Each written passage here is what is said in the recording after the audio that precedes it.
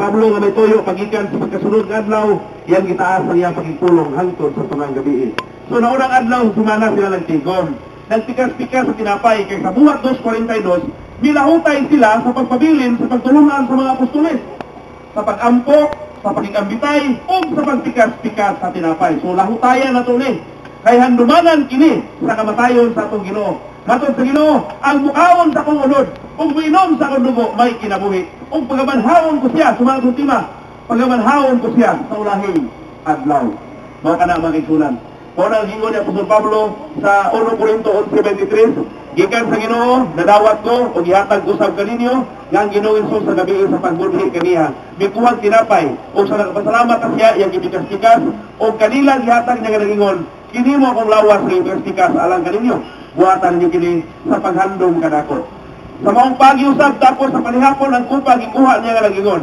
Kining kupa, bawa bago pagigsa diya sa kondugo. Buhatan ninyo kini sa matag inom niyo niinis paghandom kanako. Kay sa matag kaon, ninyo nining tinapay. O matag inom ninyo nining kupa. Ginasangyaw ninyo ang kamatayon sa Ginoo hangtod sa iyang pag-ani. Busa atong uh, hinuklugan karon, handumon karon ang kamatayon sa atong Ginoo Kristo ang atong Ginoo nagiguban ka nato. Matod niya, dili na ako moinom mag-usabi ni bunga sa palas. Hangtod magainom ako sa bangko nini, uban ka ninyo diha sa akong gingharian. Ang iglesia o gingharian sa ora, makigunan. Sa gingharian si Kristo ang hari. Sa iglesia si Kristo ang ulo. So si Kristo ang atong ulo ug atong hari. Dili sa iglesia nga mao ang iyang lawan, nga mao ang iyang gingharian. Daghang salamat o mga tindog ta alang sa pagampo samtang atong buhaton karon ang paghandom sa kamatayon sa Ginoo. Dalaygon ka, o Diyos, amahan nga balaan.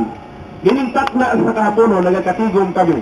Magapigas-pigas kami sa tinapay, o magainom kami sa kupa, aron sa paghandom sa kamatayon sa among Ginoong Kristo, o sa pagsangyaw ni ini, kay siya nagpakamatay, o alang sa among mga kasalanan. Gitubos niya kami, gipalit niya ang iyang iglesia, diin kami iyang gidugang. Amahan nga langit doon, pasayloa kami kung kami nasipyak sa mga buhat nga among nabuhat sa hula-hula o sa mga sulti. Aron mahimo kaming tako sa pag-ambit ining paghandom sa kamatayon sa among Ginoo. Amahan, ah, ihatag doon yung panalangin, ang giya o pagbantay sa matag sa kanamo. Ilaot ng pasayloon mo kami sa among kasalanan. Paingon na nga magpasaylo usab kami sa mga nakasala kanamo. Dalaygon ka o Dios sa walay katapusan sa ngalan ni Kristo Jesus, ang manulungan. Amen.